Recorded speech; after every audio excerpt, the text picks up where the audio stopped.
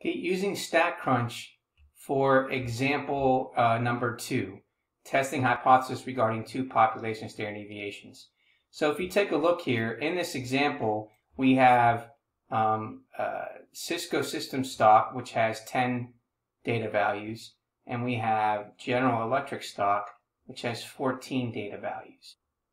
So what we're going to do is we're going to enter those values into StatCrunch. So we have a column for Cisco, there's our numbers, a column for GE.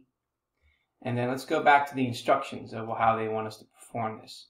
So if necessary, we entered the raw data into the first two columns of the spreadsheet, which is what we've done.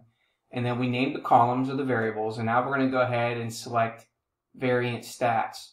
So we're going to go ahead and do that.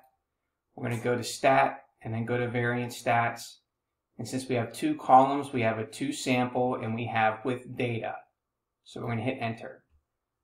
Sample one is going to be the first column, which is Cisco. Sample two is the second column, which is GE. According to our problem, this is going to equal 1 for our, our null. So that should always equal 1.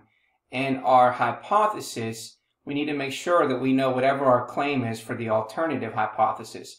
And that is greater than according to our problem. And then we're going to select compute. Now when we select compute, then we should get this information here. Okay, and this information, what does it tell us? Well, down here it tells us that the number of degrees of freedom and the numerator is 9. The denominator degrees of freedom is 13.